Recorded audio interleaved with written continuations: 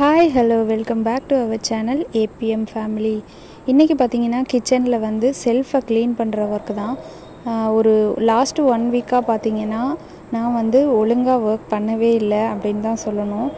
பாத்திரத்தெல்லாம் கழுவி தடாமுடா நீங்கள் அள்ளி போட்டுட்டு நிறைய ஒர்க்கு பிஸியாக இருந்ததுனால கண் இந்த ஒர்க்கை வந்து என்னால் பண்ண முடியல. அதனால் எல்லாமே வந்து வச்சது வச்ச இடத்துல இல்லாமல் எல்லாம் அலங்கோலமாக இருக்குது இவங்க எல்லாத்தையுமே வந்து அரேஞ்ச் பண்ணி எடுத்து வச்சுட்டு அடுத்த ஒர்க் பார்க்கணும். இது அரேஞ்ச் பண்ணுற ஒர்க்கில் பார்த்தீங்கன்னா நம்ம இந்த மாதிரி ஒர்க்லாம் பண் பண்ணும்போது பார்த்தீங்கன்னா நமக்கு வந்து சில நேரத்தில் இந்த மாதிரி ஒர்க் வந்து நமக்கு நிறைய ஒரு ஹெவி லோடடாக இருக்கும்.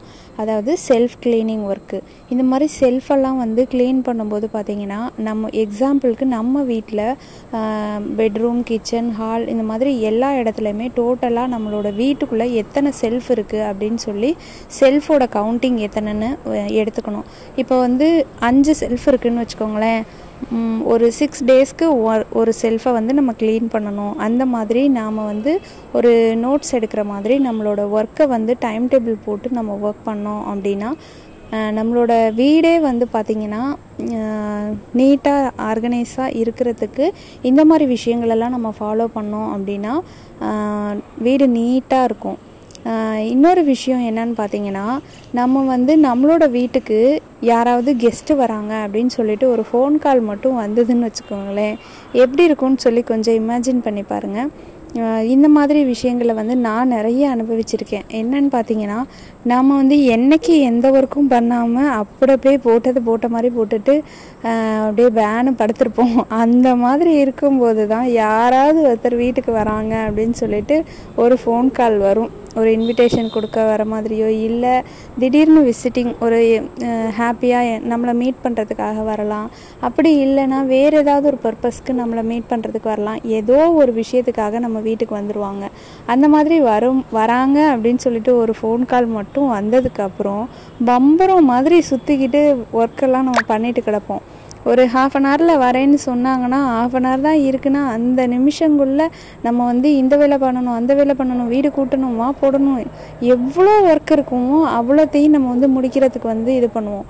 ஆனால் அதே வந்து நம்ம டெய்லியுமே ரொட்டீன் ஒர்க்குங்களை வந்து ப்ராப்பராக பண்ணிவிட்டு செல்ஃப்லாம் கண்டிப்பாக எல்லாரோட வீட்லேயுமே செல்ஃப் மட்டும் கலைஞ்சு கிடக்கும். நான் வந்து அந்த டோர்லாம் போட்டு கிட் இது உடன் ஒர்க்லாம் பண்ணியிருப்பாங்க இல்லையா? அந்த மாதிரி ஒரு வீட்டை நான் சொல்லலை. அவங்களாம் வந்து எவ்வளோ தான் வந்து உள்ளே தூக்கி போட்டு மூடி வச்சுட்டாங்கன்னா பிரச்சனையே இல்லைன்னு வச்சுக்கோங்களேன். வீடை மட்டும் பெருக்கி விட்டு மாப் போட்டாங்கன்னா ஒர்க்கெல்லாம் முடிஞ்சு நீட்டாக பண்ணிடுவாங்க ஆனால் வித்தவுட் டோரில் இருக்குது மாடுலர் கிச்சன் இல்லாமல் இல்லை அந்த மாதிரி ஓப்பனாக இருக்கிற செல்ஃப் இருக்கிற வீடுங்கள்லாம் பார்த்தீங்கன்னா ஒரு ஒன் வீக் கூட நம்ம அலங்காரமாக அடுக்கி வச்ச பொருள் வந்து ஃபாலோ பண்ண மாட்டாங்க.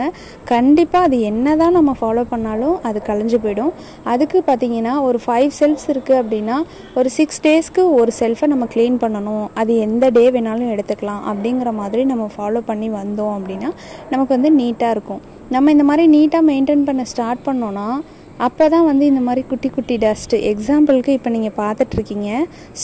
என்னோடய கேஸ் ஸ்டவ் வந்து அலங்காரமாக பொட்டு வச்சு ரொம்ப நீட்டாக இருக்குது ஆனால் அதை பக்கத்தில் போய் பார்த்தா தான் அதில் இருக்கிற அழுக்கெல்லாம் தெரியும். இங்கே பாருங்கள் எவ்வளோ ஆயில் நான் தாளித்த அந்த ஆயில் பிசுக்கு இதெல்லாமே வந்து இருக்குது இந்த மாதிரி விஷயங்கள் கூட நம்ம கண்ணுக்கு தெரிய வரும். நம்ம வந்து க்ளீனாக ஆர்கனைஸாக ஒரு விஷயத்தை ஃபாலோ பண்ணி நம்ம வீட்டை கொண்டு போகும்போது சின்ன சின்ன விஷயங்கள் கூட நமக்கு வந்து இந்த இடம் அசிங்கமாக இருக்குது இந்த இடம் அழு அழுக்காக இருக்குது இதை நம்ம க்ளீன் பண்ணணும் அப்படிங்கிற ஒரு மோட்டிவேட்டிங் நமக்குள்ளே வந்து வர ஆரம்பிச்சிடும் அப்போ நம்ம வந்து ஒரு ஒரு விஷயத்தையும் பார்த்து பார்த்து நம்ம க்ளீன் பண்ண ஆரம்பிச்சிடுவோம் நீட்டாக இருந்தது அப்படின்னா மகாலட்சுமி வந்து கண்டிப்பாக நம்ம வீட்டுக்கு வருவாங்க.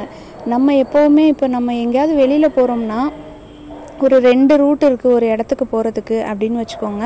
ஒரு ரூட் வந்து நல்லா அதாவது நீட்டாக பைபாஸ் ரோடுன்னு வச்சுக்கலாம்.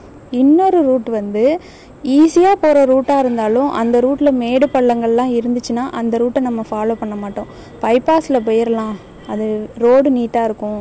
அந்த மாதிரிலாம் ஒரு ஃபீலாக இருக்கும் இல்லையா? அதனால தான் ரெண்டு ரூட்டில் எந்த ரூட்டு பெஸ்ட்டு அப்படிங்கிறத பார்த்தா தான் நமக்கு வந்து நம்மளும் அதே மாதிரி தான். நம்ம வீட்டுக்கு நம்ம வீட்டை சுத்தமாக வச்சுருக்கோம் அப்படின்னா மகாலட்சுமி கண்டிப்பாக வருவாங்க. இப்போ என்னோடய ஸ்டவ்வை பார்த்தீங்கன்னா நான் எந்த ஒரு சோப்பு ஆயிலோ லிக்விடோ எதுவுமே போடலை. விபூதி பட்டை அடிச்சிருந்தோம் இல்லையா? அந்த விபூதி பட்டையில் இருக்க விபூதி வந்து நம்மளோட ஸ்டவ்வில் இருக்க எண்ணெய் பிசுக்கெல்லாம் சூப்பராக எடுத்து ஷைனிங் லுக்கு கொடுக்கும். அதனால் நான் அந்த விபூதியை மட்டுமே ஃபுல் ஸ்டவ்வுக்கும் கொஞ்சமாக தண்ணி தெளித்து ஃபுல்லாக தேய்ச்சி விட்டுட்டு துணியை வச்சு தொடச்சி நான் எடுத்துட்டேன். ஸ்டவ் வந்து இந்த மாதிரி நான் வந்து வீக்லி ஒரு டூ டைம்ஸ் க்ளீன் பண்ணுவேன். எப்படின்னா அந்த பொட்டு வைக்கிறோன்னா அடுத்த நாள் ஃபுல்லாக அந்த பொட்டு இருக்கும். பொங்கி ஊற்றுற மாதிரி இல்லை பருப்புலாம் சில நேரத்தில் குக்கர்லேருந்து வலிஞ்சிரும் அந்த மாதிரிலாம் இருந்துச்சு அப்படின்னா அதெல்லாம் அடுத்த அப்போவே நான் வந்து தொடச்சி க்ளீன் பண்ணிடுவேன் ஆனால் அந்த மாதிரிலாம் எதுவுமே ஆகாமல் நீட்டாக இருக்குது அப்படிங்கிற பட்சத்தில் ஒரு நாள் விட்டு அடுத்த நாள் வந்து இந்த மாதிரி நான் தொடச்சிருவேன். அப்போ வந்து நமக்கு ஃபுல்லாக நீட்டாகவே நம்மளோட ஸ்டவ் வந்து நம்ம கண்ணுக்கு தெரியும். அப்போ நீட்டாக இருந்துச்சுனாலே நமக்கு ஒர்க் பண்ணுறதுக்கும் ரொம்ப ஹாப்பியாக இருக்கும். ரிலாக்ஸாக நம்ம வந்து ஒர்க் பண்ணுவோம். கிச்சனுக்கு வரும்போதே நமக்கு வந்து ஃபுல்ஃபில் மைண்டாக நிம்மதியாக இருக்க மாதிரி ஒரு ஃபீல் ஆகும். அது மாதிரி இப்போ பார்த்தீங்கன்னா அதை ஃபுல்லாக தொடச்சி எடுத்துட்டு இன்னொரு நல்ல ஒரு ட்ரை கிளாத்தை வச்சு நான் அந்த ஈரத்தையும் ஃபுல்லாக தொடச்சி எடுத்துட்டேன் அப்படின்னா சுத்தமாக சூப்பராக ஆயிடுச்சு. அவ்வளோதான் இன்றைக்கி வந்து இந்த ரெண்டு ஒர்க்கை தான் நான் வந்து மெயினாக பார்த்தேன். ரெண்டு ஒர்க்னால் இதை வந்து நான் வெறும் கிச்சன் தான் செல்ஃபை க்ளீன் பண்ணுறதுக்கு வந்தேன். அப்படியே ஆப்போசிட்டில் ஸ்டவ் எனக்கு இருக்கிறதுனால டக்குன்னு அது எனக்கு க பார்வைக்கு பட்டுது. நீட்டாக இருக்குது அப்படின்னு சொல்லிட்டு நம்ம ரசிக்கும் போது திரும்பி பார்த்தா இப்படி இருக்குது ஸோ உடனே சரி ஓகே அதையும் நம்ம க்ளீன் பண்ணிடலாம் அப்படின்னு சொல்லிட்டு அதையும் நான் வந்து நீட்டாக தொடச்சி எடுத்துட்டேன். இப்படி தான் இன்றைக்கி டே வந்து எனக்கு போணுச்சு ஆஃப்டர்நூனுக்கு மேலே. ஓகே ஃப்ரெண்ட்ஸ் இந்த வீடியோ உங்களுக்கு பிடிச்சிருக்கு பிடிச்சிருக்கும் அப்படின்னு நான் நினைக்கிறேன். பிடிச்சிருந்தா நம்ம சேனலை சப்ஸ்கிரைப் பண்ணிக்கோங்க. ஒரு லைக் பண்ணுங்கள் ஷேர் பண்ணுங்கள் கமெண்ட்ஸ் பண்ணுங்கள் நெக்ஸ்ட்டு சூப்பரான ஒரு வீடியோவில் சூப்பரான ஒரு கண்டென்ட்டில் நான் வந்து உங்களை மீட் பண்ணுறேன் தேங்க்யூ ஸோ மச் பாய்